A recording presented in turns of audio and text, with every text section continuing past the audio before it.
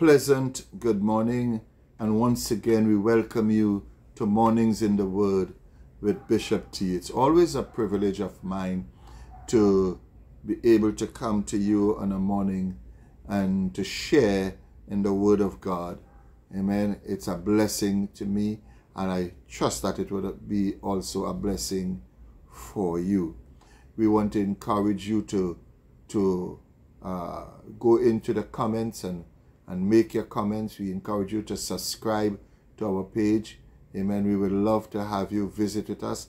As a matter of fact, on Sunday coming, uh, we will be having our friends and family day at our church on Warden Road. That's the Warden Road Center of Worship.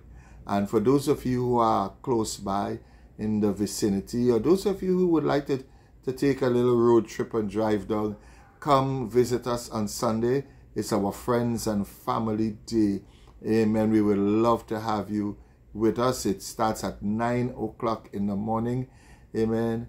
And if you're coming from far and you came in and you visit, just come and let me know who you are. Uh, amen. And we will be so glad to have you with us on Sunday coming. As we continue on the topic, no other way. We read from the book of Mark, chapter 14, verse 35 and 36. And it says, Going a little further, he fell to the ground and prayed that if possible, the hour might pass from him.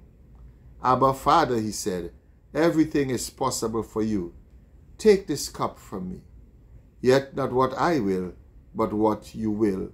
One of the biggest questions we said that is asked is why did Jesus have to die?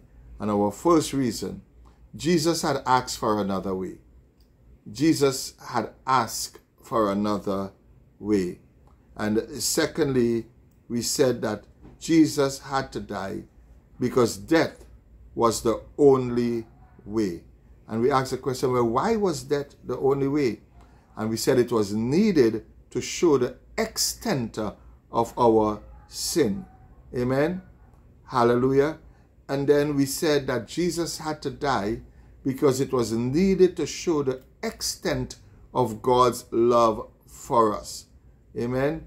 And so we said yesterday in the first part, Jesus would be dealing with the elements of things that when he left heaven, he left that perfect condition of heaven to come to earth. That is how much God loves us. To send his son, amen, to this sin-cursed earth. Amen. And he will be leaving the harsh, um, the, the, the, beautiful place of heaven to come down to this earth and deal with elements of, of things like harsh weather and conditions and to enjoy the sights and sounds and smells of our imperfect world. And, and he will have to deal with being surrounded by imperfect people, some of whom would end up mistreating him. And secondly, as we start this morning, he would be laying aside his supremacy and worship you see, in heaven, Jesus was worshipped and he was adored by the angels. But in coming to earth, that adoration and worship would, would, would be laid aside and replaced uh, by, with being looked at as just another human being. And instead of being adored by all, he would be hated by many. You see, Jesus' status in heaven didn't change.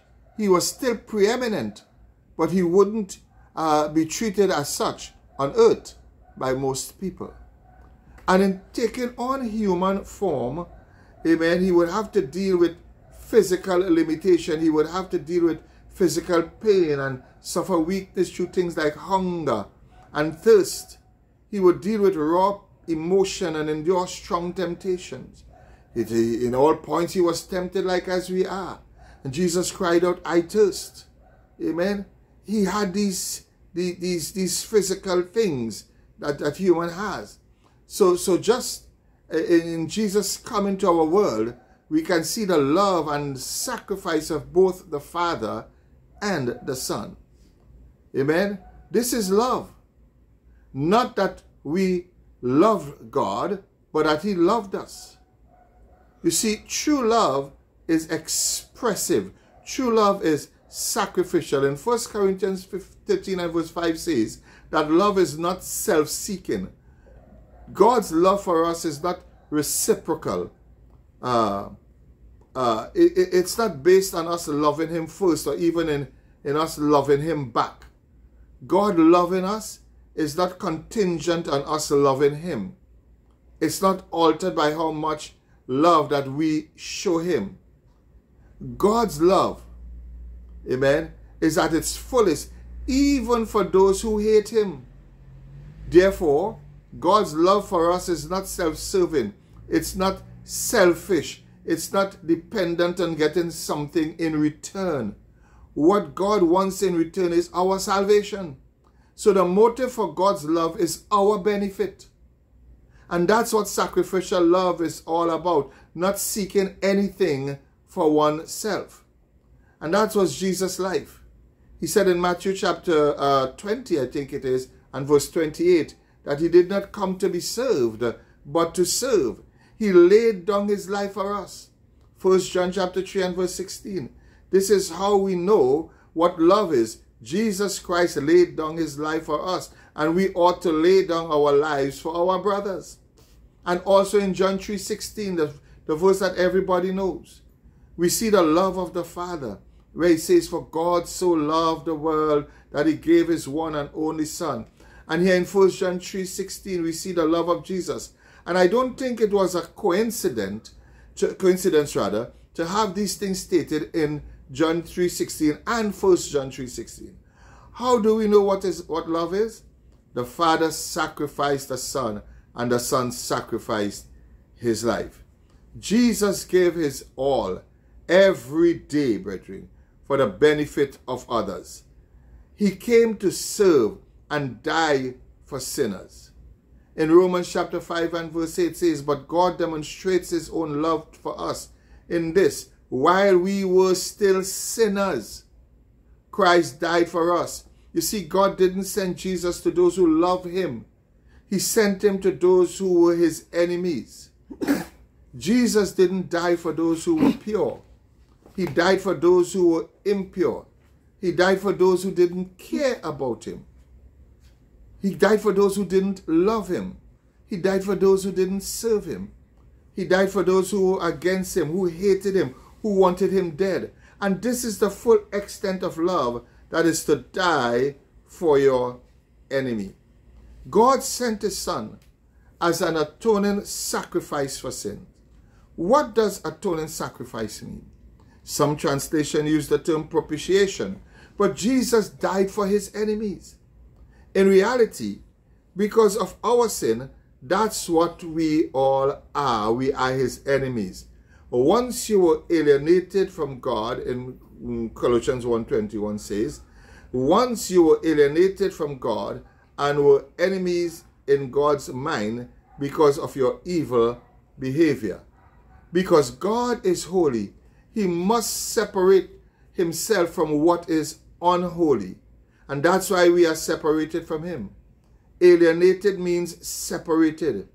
We are not connected to God. We, we, we cannot please God. Even though God loves us, he hates sin. Sin is the enemy. Amen. Therefore, we are his enemy because of our sin and the evil behavior that stems uh, from it.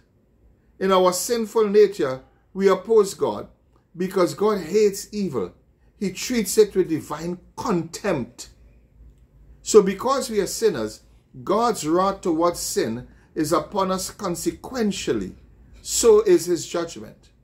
And that's where Jesus comes in. The wrath God has toward our sin, God projected onto Jesus.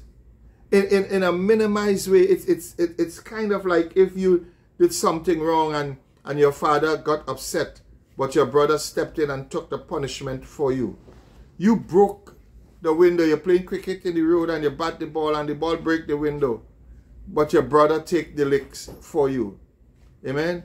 Jesus being our atoning sacrifice mean he took upon himself God's wrath towards sin. And that's why Jesus cried out to his father when he was on the cross. Why have you forsaken me. And that's the moment when Jesus took our sins upon himself. And in so doing, incurred the wrath of the Father. You know, in in in in, in uh, I think it's First Corinthians chapter five and verse twenty-one.